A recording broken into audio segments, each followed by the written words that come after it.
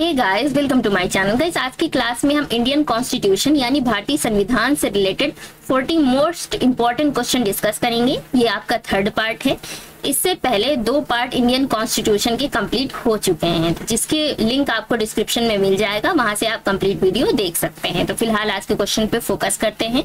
तो आपका next question दिया हुआ है कि भारत में निम्न में से किस लोकसभा अध्यक्ष का कुल कार्यकाल सर्वाधिक रहा है? ऑप्शन आपके पास doctor G S Dhillon Shrimati Meera Kumar doctor Balram Jakhar या श्री हुकुम सिंह। तो राइट ऑप्शन आपको बताना है कौन सा हो जाएगा। यहाँ सी ऑप्शन करेक्ट हो जाएगा doctor Balram Jakhar. Next question देखते हैं। नेक्स्ट क्वेश्चन में कह रहा है कि लोकसभा के पहले वक्ता कौन थे? नीलम संजीव रेड्डी, गणेश वासुदेव मावलंकर, के एस हेगड़े या हुकिम हुकम सिंह। तो आपको राइट ऑप्शन बताना है और खुद एनालाइज भी करना है कि आप कितने क्वेश्चन सही कर पा रहे हैं। अगर आप ज़्यादा क्वेश्चन सही कर पा रहे हैं, इसका मतलब है कि आपकी तैयारी अच्छी है। आपको थोड़ी ही मेहनत की ज़रूरत है, लेकिन अगर आप ज़्यादा क्वेश्चन सही नहीं कर पा रहे हैं तो आपको मेहनत की ज़रूरत है। और आपको इन्हें क्वेश्चन को याद भी करना है, क्योंकि एग्ज़ाम के पॉइंट ऑफ़ व्यू से बहुत इंपॉर्टेंट क्वेश्चन है। तो गाइज़ यहाँ जो आपका राइट आंसर हो जाएगा हो जाएगा गणेश वासुदेव मावलंकर। यहाँ बी ऑप्शन आपका करेक्ट है। नेक्स्ट क्वेश्चन देखते हैं। नेक्स्ट क्वेश्चन में कह रहा है कि लोकसभा द्वारा पारित जब कोई धन विधेयक राज्यसभा में भेजा जाता है तो इसे राज्यसभा द्वारा कितने दिनों में लोकसभा को वापस भेजा देना मतलब भेज देना होता है?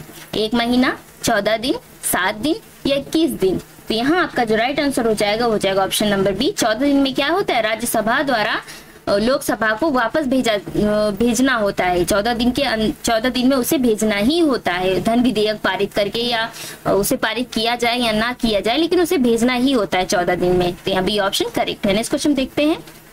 नेक्स्ट क्वेश्चन कह रहे हैं कि लोकसभा का कोरम कुल सदस्य कुल सदस्य संख्या कितना होता है? एक बटा तीन, एक बटा चार, एक बटा पाँच, एक बटा दस। तो यहाँ आपका जो राइट आंसर हो जाएगा हो जाएगा एक बटा दस। नेक्स्ट क्वेश्चन देखते हैं। नेक्स्ट क्वेश्चन कह रहे कि लोकसभा में अविश्वास प्रस्ताव न्यूनतम कितने सदस्यों द्वारा समर्थित होना चाहिए?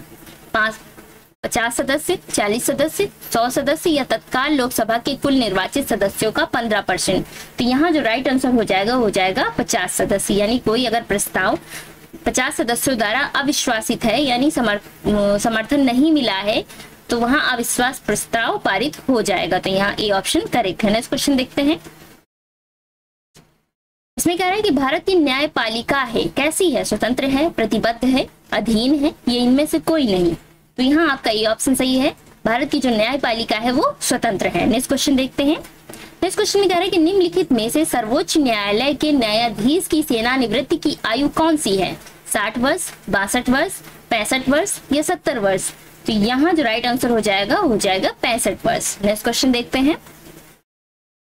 नेक्स्ट क्वेश्चन में कह रहा है कि उच्च न्यायालय के न्यायाधीश की सेना निवृत्ति की उम्र क्या है? पचपन, अट्ठावन, साठ या बासठ? तो यहाँ जो राइट आंसर होगा, वो होगा ऑप्शन नंबर डी बासठ। नेक्स्ट क्वेश्चन देखते हैं। नेक्स्ट क्वेश्चन कह रहा है कि भारत के सर्वोच्च न्यायालय के मुख्य न्यायाधीश हैं। केशवानंद भारती, पी सथा विश्वम मारखंडित काटजू, या इनमें से कोई नहीं। तो यहाँ जो आपका राइट आंसर हो जाएगा, वो हो जाएगा option number B P Sathasivam. Next question देखते हैं। इसमें कह रहा है कि राज्यपाल का कार्यकाल कितने वर्ष का होता है? छह वर्ष, पाँच वर्ष, तीन वर्ष, या चार वर्ष? तो यहाँ आपका बी ऑप्शन सही है। राज्यपाल का जो कार्यकाल होता है, वो पाँच वर्ष का होता है। फिर कह रहे हैं, राज्यपाल की नियुक्ति कौन करता है? प्रधानमंत्री, मुख्यमंत्री, राष्ट्रपति या मुख्य न्यायाधीश? तो यहाँ जो राइट आंसर हो जाएगा हो जाएगा ऑप्शन नंबर सी राष्ट्रपाल की जो नियुक्ति करता है, वो राष्ट्रपति करता है। तो सी ऑप्शन करेक्ट है। नेक्स्ट क्वेश्चन देखता है। इसमें कह रहे कि मेघालय के वर्तमान राज्यपाल कौन है? तथागत राय, पद्मनाथ आचार्य, बनवारी लाल पुरोहित या वी. खन मुगनाथन तो राइट ऑप्शन कौन सा हो जाएगा इसका? सी ऑप्शन सही है, बनवारी लाल पुरोहित। नेक्स्ट क्वेश्चन देखते हैं। नेक्स्ट क्वेश्चन में हैं किसी भारतीय राज्य के राज्यपाल से संबंधित निम्नलिखित कथनों में से कौन सा कथन सत्य नहीं है? यानी चार स्टेटमेंट दिए हुए हैं, जिनमें से तीन स्टेटमेंट सही है, एक स्टेटमेंट सही नहीं है, वही स्टेटमेंट आपको फाइंड आउट करना है। तो पहला कह रहे हैं कि वह भारत के राष्ट्रपति द्वारा नियुक्त हो सकता है, बिल्कुल सही है। वो एक से अधिक राज्यों का राज्यपाल हो सकता है, ये भी सही स्टेटमेंट है। वो सामान्यतः पाँच वर्षों तक पद पर रहता है, ये भी बिल्कुल सही है। राज्यपाल का न्यूनतम कार्यकाल कितना होता है? पाँच वर्ष ही होता है। यानी न्यूनतम क्या? कार्यकाल ही पाँच वर्ष का होता है। पाँच वर्ष बाद वो पुनः या तो निर्वाचित होगा या तो हटा दिया जाएगा। फिर कह रहे हैं कि यदि संबंधित राज्य की विधायिका उसे पद से हटाए जाने का प्रस्ताव अनुमोदित करती है तो वह पदावधि के पूर्व भी पदच्युत किया जा सकता है। तो ये ऑप्शन गलत है। तो इस क्वेश्चन के बिहार पे ये डी ऑप्शन करेक्ट हो जाएगा। नेक्स्ट क्वेश्चन देखते हैं। इसमें कह रहा है, राज्यपाल द्वारा जारी किए गए अध्यादेश की अधिकतम अवधि कितनी होती है? तीन महीने, छह महीने, एक वर्ष या दो वर्ष? तो यहाँ जो आपका राइट आंसर है, वो है ऑप्शन नंबर बी छह महीने। बी ऑप्शन करेक्ट है, छह महीने नेक्स्ट क्वेश्चन देखते हैं। इसमें कि मुख्य सचिव का चयन कौन करता है, राज्यपाल, राष्ट्रपति, प्रधानमंत्री या राज्य का मुख्यमंत्री? तो इसका जो आंसर हो जाएगा हो जाएगा राज्य का मुख्यमंत्री। यानी मुख्य सचिव का जो चयन करता है, वो राज्य का मुख्यमंत्री करता है। नेक्स्ट क्वेश्चन देखते हैं। नेक्स्ट क्वेश्चन में कह रहा है कि भारत में किसकी राज्य की प्रथम महिला मुख्यमंत्री थी? यानी भारत में किसी राज्य की प्रथम महिला मुख्यमंत्री कौन थी? मायावती, सुचेता कृपलानी, जयललिता या इनमें से कोई नहीं? यहाँ जो आपका राइट ऑप्शन हो जाएगा, वो कौन सा हो जाएगा? ऑप्शन नंबर बी हो जाएगा। सुचिता कृपलानी क्या थी? प्रथम महिला मुख्यमंत्री थी किसी राज्य की। राज्य का नाम यहाँ मेंशन नहीं किया गया है तो आपको कमेंट करके बताना है कि सुचिता कृपलानी किस राज्य की प्रथम महिला मुख्यमंत्री थी। नेक्स्ट क्वेश्चन देखते हैं। नेक्स्ट क्वेश्चन कह रहे हैं कि किस राज्य में मुख्यमंत्री का कार्यकाल लगातार सबसे लंबा रहा है? पश्चिम बंगाल, आंध्र प्रदेश, सिक्किम या राजस्थान?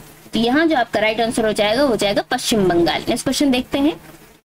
इस क्वेश्चन में कह रहे हैं कि उच्च न्यायालय के न्यायाधीशों के वेतन में किस परिस्थिति में कमी की जा सकती है? यदि संसद दो तिहाई बहुमत से संबंधित प्रस्ताव पारित करे, वित्तीय आपातकाल में, यदि राज्य विधान मंडल इस संदर्भ में कानून पारित करे, या राज्य में राष्ट्रपति का शासन हो तो कौन सा ऑप्शन सही हो जाएगा इसका? बी ऑप्शन करेक्ट हो जाएगा। वित्तीय आपातकाल में उच्च न्यायालय के न्यायाधीशों के वेतन में कमी की जा सकती है। इसके अलावा और किसी भी कंडीशन में कमी नहीं होती है। नेक्स्ट क्वेश्चन देखते हैं। रहे हैं कि उच्चतम न्यायालय के मूल अधिकार क्षेत्र में शामिल है। कौन से शामिल है? आतंकवाद संबंधित मामले, भारतीय संघ की विभिन्न इकाइयों के बीच विवाद आपराधिक मामले या राष्ट्रीय अखंडता के विषय में मुद्दे। तो राइट ऑप्शन कौन सा हो जाएगा? आपका बी ऑप्शन सही हो जाएगा। भारतीय संघ की विभिन्न इकाइयों के बीच विवाद, ये उच्चतम न्यायालय के मूल अधिकार क्षेत्र में शामिल है। नेक्स्ट क्वेश्चन देखते हैं। स्पीकर है कि पंचायत चुनाव निम्नलिखित में से किस स्तर पर कराया जाता है? ग्राम स्तर, जिला स्तर, नगर स्तर, या इनमें से सभी। तो यहाँ जो आपका राइट ऑप्शन है, वो है ग्राम स्तर। पंचायत चुनाव ग्राम स्तर पर कराया जाता है। नेक्स्ट क्वेश्चन देखते हैं। इसमें कह रहा कि पंचायती राज व्यवस्था कब संवैधानिक संस्था बनी? उन्नीस सौ बानवे, उन्नीस सौ इक्यानवे, उन्नीस सौ तिरानवे या उन्नीस सौ पंचानवे? तो यहाँ जो आपका राइट ऑप्शन हो जाएगा हो जाएगा उन्नीस सौ बानवे में। नेक्स्ट क्वेश्चन देखते हैं। नेक्स्ट क्वेश्चन में कह रहा है कि भारत में किनके चुनाव में कुल सीटों की एक तिहाई महिलाओं के लिए आरक्षित होती हैं। ग्रामीण एवं शहरी स्थानीय निकायों में, विधानसभाओं में, विधान परिषदों में या इनमें से सभी में। तो राइट ऑप्शन क्या हो जाएगा आपका? ग्रामीण एवं शहरी स्थानीय निकायों में चुनाव में कुल सीटों की एक तिहाई सीटें महिलाओं के लिए आरक्षित होती हैं। ए ऑप्शन करेक्ट है। नेक्स्ट क्वेश्चन देखते हैं। नेक्स्ट क्वेश्चन कह रहे हैं कि नगर निगम का अध्यक्ष कौन होता है? महापौर, खंड विकास अधिकारी उपयुक्त या उपयुक्त में से कोई नहीं। तो राइट ऑप्शन कौन सा हो जाएगा इसका? ये ऑप्शन सही है महापौर। नेक्स्ट क्वेश्चन देखते हैं। नेक्स्ट क्वेश्चन कह रहे हैं कि भारत में सर्वप्रथम 2 अक्टूबर उन्नीस सौ उनसठ में पंचायती राज व्यवस्था कहाँ से प्रारंभ हुई? वर्धमान, जो कि पश्चिम बंगाल में है, गया, जो कि बिहार में है, फैजाबाद, जो कि उत्तर प्रदेश में है, या नागौर, जो कि राजस्थान में है? राइट ऑप्शन कौन सा हो जाएगा आपका? नागौर, जो कि राजस्थान में है। सर्वप्रथम 2 अक्टूबर उन्नीस सौ उनसठ में पंचायती राज व्यवस्था नागौर में प्रारंभ हुई थी। तो यहाँ आपका डी ऑप्शन करेक्ट हो जाएगा। नेक्स्ट क्वेश्चन देखते हैं। इसमें कह रहा है कि कौन सा विषय संवर्ती सूची के अंतर्गत आता है? भू राजस्व, मूल्य नियंत्रण प्रति व्यक्ति कर या आजीविकाओं पर कर तो यहाँ आपका राइट ऑप्शन हो जाएगा ऑप्शन नंबर बी मूल्य नियंत्रण। नेक्स्ट क्वेश्चन देखते हैं। नेक्स्ट क्वेश्चन कह रहा है कि भारत के संविधान के अंतर्गत आर्थिक योजना विषय है। किस सूची में? राज्य सूची में, संघ सूची में, समवर्ती सूची में या किसी सूची में निर्दिष्ट नहीं है? तो राइट ऑप्शन जो है, वो है समवर्ती सूची में। नेक्स्ट क्वेश्चन देखते हैं। नेक्स्ट क्वेश्चन में कह रहा है, अवशिष्ट शक्ति। जिनका उल्लेख संघीय, राज्य या समूर्ति सूचियों में नहीं किया गया है। निम्नलिखित में से किसमें निहित होते हैं? राज्यसभा में, संसद में, राज्य विधान मंडलों में या लोकसभा में? तो यहाँ आपका भी ऑप्शन करेक्ट हो जाएगा, संसद में निहित होते हैं। नेक्स्ट क्वेश्चन देखते हैं। नेक्स्ट क्वेश्चन में कह रहा है कि भारत में संघ लोक सेवा आयोग का गठन भारत के संविधान में किस अनुच्छेद के अंतर्गत किया गया? एक सौ बाईस, एक सौ बहत्तर, एक सौ अठहत्तर या तीन सौ पंद्रह? तो यहाँ आपका डी ऑप्शन करेक्ट हो जाएगा। अनुच्छेद तीन सौ पंद्रह के अंतर्गत किया गया है।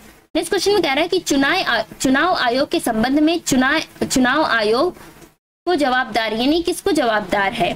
संसद को, राज्य विधान मंडल को, राष्ट्रपति और उपराष्ट्रपति कार्यकाल को या इनमें से सभी को? तो राइट ऑप्शन जो हो जाएगा, वो हो जाएगा ऑप्शन नंबर डी इनमें से सभी को चुनाव आयोग से संबंध में चुनाव आयोग को, इन सभी को जवाबदार होता है। तो यहाँ डी ऑप्शन करेक्ट हो जाएगा। नेक्स्ट क्वेश्चन देखते हैं। है कि भारत में किसी राजनीतिक पार्टी को मान्यता किसके द्वारा दी जाती है? निर्वाचन आयोग के द्वारा, सर्वोच्च न्यायालय के द्वारा, संसद के द्वारा या राष्ट्रपति के द्वारा? यहाँ आपका ए ऑप्शन सही हो जाएगा। किसी राजनीतिक पार्टी को मान्यता निर्वाचन आयोग द्वारा दी जाती है। ए ऑप्शन करेक्ट हो जाएगा। नेक्स्ट क्वेश्चन देखते हैं। नेक्स्ट क्वेश्चन कह रहा है कि भारत के प्रथम चुनाव आयुक्त कौन थे? आरवीएस पेयत्री, सुकुमार सेन, डॉक्टर नागेंद्र सिंह या डॉक्टर के त्रिवेदी? यहाँ जो आपका बी ऑप्शन है करेक्ट हो जाएगा, सुकुमार सेन। नेक्स्ट क्वेश्चन देखते हैं। नेक्स्ट क्वेश्चन में कह रहा है कि सार्वभौम वयस्क मताधिकार की अवधारणा के अंतर्गत नाबालिग मतदान कर सकते हैं, शिक्षित वयस्क व्यक्ति मतदान कर सकते हैं, विदेशी नागरिक मतदान कर सकते हैं या भारतीय राष्ट्रीयता प्राप्त वयस्क मतदान कर सकते हैं। राइट ऑप्शन कौन सा हो जाएगा आपका? डी ऑप्शन सही हो जाएगा। भारतीय राष्ट्रीयता प्राप्त वयस्क मतदान कर सकते हैं। नेक्स्ट क्वेश्चन देखते हैं।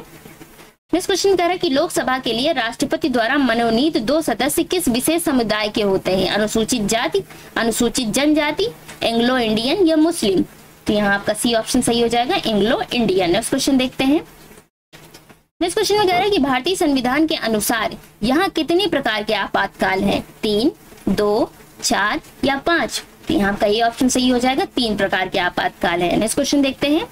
नेक्स्ट क्वेश्चन कह रहा है कि भारतीय संविधान के किस अनुच्छेद के अंतर्गत किसी राज्य में राष्ट्रपति शासन लागू किया जा सकता है? 350, 352, 356 या 370 यहाँ का सी ऑप्शन सही हो जाएगा अनुच्छेद 356 के अंतर्गत। नेक्स्ट क्वेश्चन देखते हैं। नेक्स्ट क्वेश्चन कह रहे हैं कि राज्य सरकार को बर्खास्त किसके द्वारा किया जा सकता है? यानी राज्य सरकार को अगर बर्खास्त करना हो तो किसके द्वारा कर सकते हैं? संसद द्वारा, राज्यपाल द्वारा, राष्ट्रपति द्वारा, या राज्यपाल की सिफारिश पर राष्ट्रपति द्वारा? यहाँ जो आपका डी ऑप्शन है, वो सही हो जाएगा। राज्यपाल की सिफारिश पर राष्ट्रपति द्वारा। नेक्स्ट क्वेश्चन देखते हैं। नेक्स्ट क्वेश्चन में कह रहे हैं कि अनुच्छेद तीन के अधीन आपात स्थिति की घोषणा की स्थिति में राज्य में कौन शासन करता है? प्रधानमंत्री, मुख्यमंत्री, राज्यपाल या राज्य का मुख्य न्यायाधीश? तो यहाँ आपका सी ऑप्शन सही हो जाएगा, राज्यपाल। नेक्स्ट क्वेश्चन देखते हैं। नेक्स्ट क्वेश्चन में कह रहे हैं कि में से किस आपातकालीन स्थिति की घोषणा आज तक भारत में नहीं हुई है? आंतरिक अशांति के कारण उत्पन्न आपातकालीन स्थिति, बाहरी आक्रमण के कारण उत्पन्न आपातकालीन स्थिति, वित्तीय संकट के कारण उत्पन्न आपातकालीन स्थिति या राष्ट्रपति शासन के कारण उत्पन्न आपातकालीन स्थिति। राइट ऑप्शन कौन सा हो जाएगा? सी ऑप्शन सही है। वित्तीय संकट के कारण उत्पन्न आपातकालीन स्थिति की घोषणा आज तक भारत में नहीं हुई है। वित्तीय संकट जो अभी है प्रेजेंट में वो श्रीलंका में है। ये अभी की करंट न्यूज़ है। यहाँ जो इस क्वेश्चन के भी आप पे सही ऑप्शन हो जाएगा, वो हो जाएगा सी भारत में वित्तीय संकट के कारण कोई भी आपातकालीन स्थिति घोषणा अभी तक नहीं की गई है। नेक्स्ट क्वेश्चन देखते हैं। इसमें कह रहा है, जब कोई राज्य राष्ट्रपति के शासन के अंतर्गत होता है, तब उस राज्य का बजट कौन पारित करता है? राष्ट्रपति, संघीय मंत्रिपरिषद संसद या वित्त मंत्रालय। यहाँ का सी ऑप्शन सही हो जाएगा, संसद पारित करता है। नेक्स्ट क्वेश्चन देखते हैं। नेक्स्ट क्वेश्चन में कह रहा है कि भारतीय संविधान में संविधान संशोधन की प्रक्रिया किस राष्ट्र के संविधान पर आधारित है? संयुक्त राज्य अमेरिका, दक्षिण अफ्रीका, कनाडा या आयरलैंड। यहाँ आपका भी ऑप्शन सही हो जाएगा, दक्षिण अफ्रीका। तो इस वीडियो में हमने total total 40 questions top 40 question discuss किए हैं। किसी भी क्वेश्चन में अगर आपको कोई प्रॉब्लम है तो आप मुझसे कमेंट करके पूछ सकते हैं। मैं डेफिनेटली कोशिश करूँगी कि आपके डाउट्स को क्लियर कर सकूँ। ये सभी इंपॉर्टेंट क्वेश्चन है, इन्हें सबको याद कर लीजिए। और ये पूरी जो सीरीज़ है आपकी इंडियन कॉन्स्टिट्यूशन की इंडियन इकोनॉमी की इंडियन जियोग्राफी की और हिस्ट्री की, इन सभी को अच्छे से देख लीजिए। सभी क्वेश्चन याद कर लीजिए। अगर आपको फ्री पीडीएफ की ज़रूरत है तो आप कमेंट करके बोल सकते हैं, मैं आपको फ्री पीडीएफ प्रोवाइड करा दूँगी। अगर आपको वीडियो अच्छा लगा तो प्लीज़ वीडियो को लाइक कर दीजिए। चैनल सब्सक्राइब नहीं किया है तो प्लीज़ चैनल को सब्सक्राइब कर लीजिए। इस वीडियो को देखने के लिए आपका बहुत बहुत धन्यवाद। Thank you